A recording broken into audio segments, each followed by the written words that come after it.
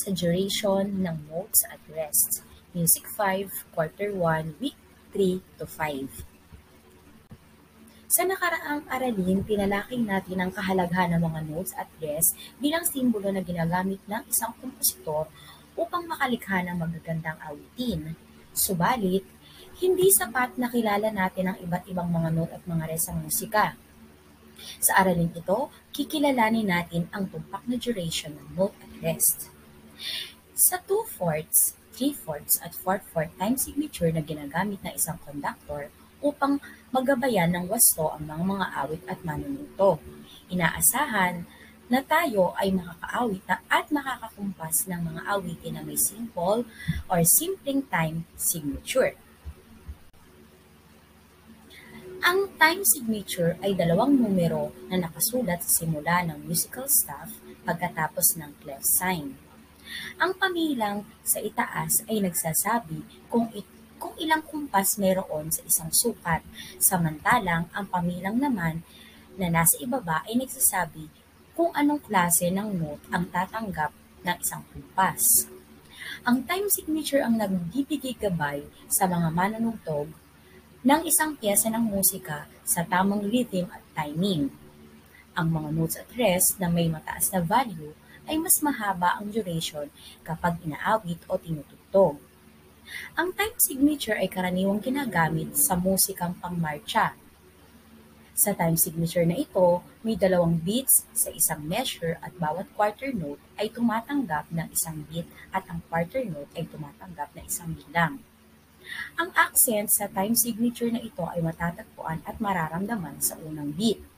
Ang ikalawang beat ay walang diin. Narito naman ang basong paraan ng kumpas sa 2-4 time signature. Ating gayahin ang nakikita natin sa ating screen.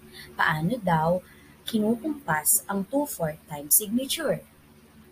Mula sa taas, pababa, pataas. 2 fourths. 1, 2. Ganun daw po ang pagkukumpas ng 2 fourths. Ang 3-4 time signature ay may tatlong beats sa isang measure at bawat quarter note ay tumatanggap ng isang beat.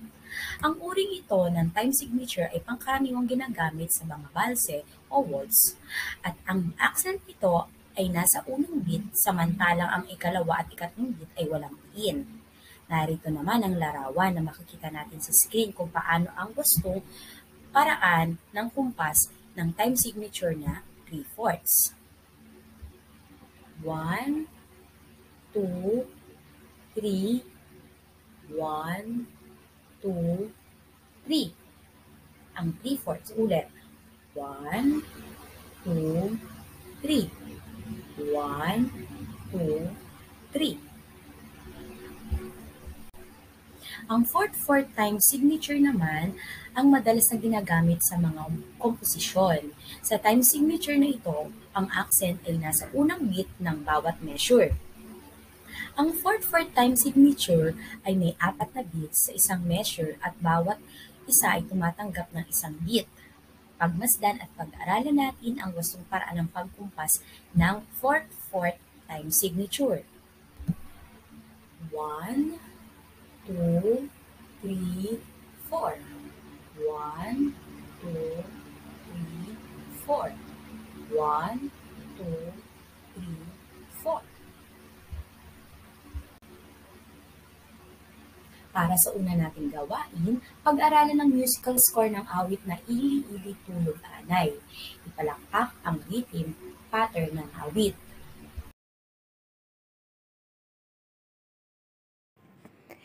Ili-ili tulog anay wala diri. Imong nanay kadto tienda bakal papay.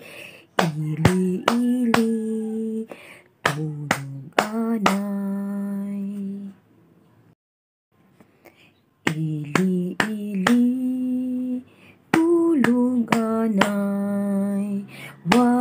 diri imong nanay kadto tienda bakal papay. Ili-ili tulog anay.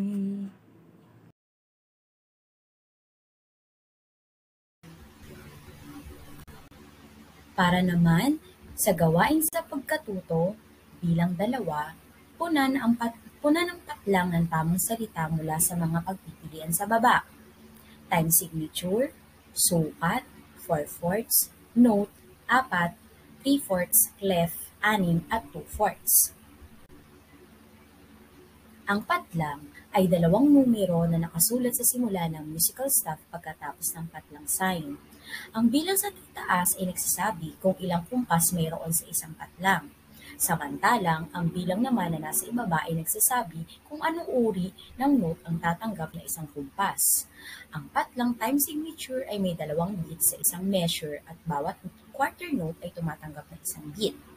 Ang patlang time signature ay may tatlong beats sa isang measure at bawat quarter note ay tumatanggap ng isang beat. Ang fourth time signature ay may patlang beats sa isang measure at bawat quarter note ay tumatanggap ng isang beat. Ang duration ng isang note o rest ay depende sa bilang nito.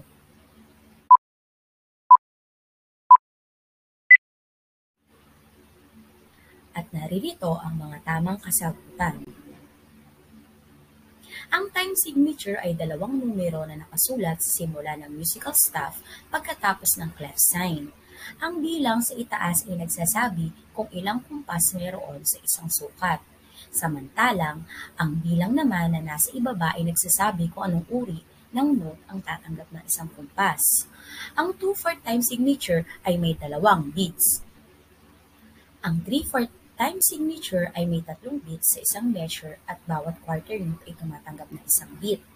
Ang 4 time signature ay may apat na beats sa isang measure at bawat quarter note ay tumatanggap ng isang beat. Ang duration ng isang note or rest ay depende sa bilang nito. At dito nagtatapos ang ating aralin sa week 3 to 5 ng music natin. Hanggang sa muli mga bata, maraming salamat!